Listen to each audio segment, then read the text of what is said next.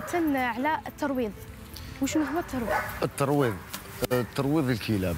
هي ترويض الكلاب على الطاعه على الحماية وعلى الحراسة. هاي كيف. آه، يعني احكي لي بداياتك. كيفاش كانت في في الترويض؟ كيفاش حتى لقيت يعني آه، روحك في الترويض؟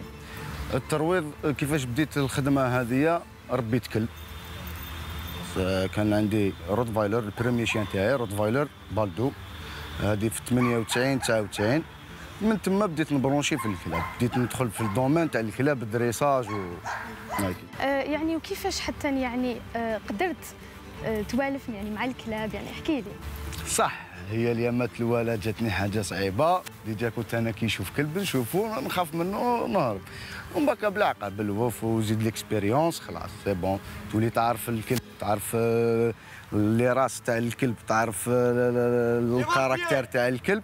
ثماك خلاص تجي كل ساهل. يعني الترويض سمعت إنه يقولوا فيه شوية صعوبات في البداية. يعني فاش تتمثل هذه الصعوبات؟ الصعوبات كاين des fois صعوبات ما يجوش في, في الكلب ولا يجوا في في, في ال dresseur يجوا مالين الكلب. هاي كيفاه؟ كاين آه، يقول لك آه، يخلي كلبو أربع شهور خمس شهور هو في la terrasse ولا في la cave. وما يقول لك كلبي يجيب لك فيديو في اليوتيوب يقول لك خرج لي كلبي هذا. non ال dressage فيه مراحل. فيه le débourrage الكلب يبدا كيكون في عمره شهرين ونص مع مولاه. يبدا le assis le coucher le debout le pas bouger la laisse la marche au pied.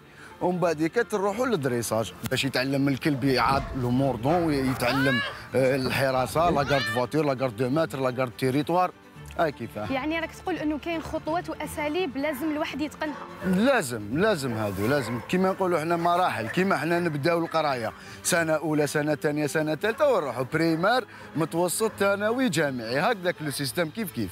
justement إحنا هاد التفاصيل وهاد الخطوات راح نكتشفوهم معاك من بعد الشهر مرحبا بكم.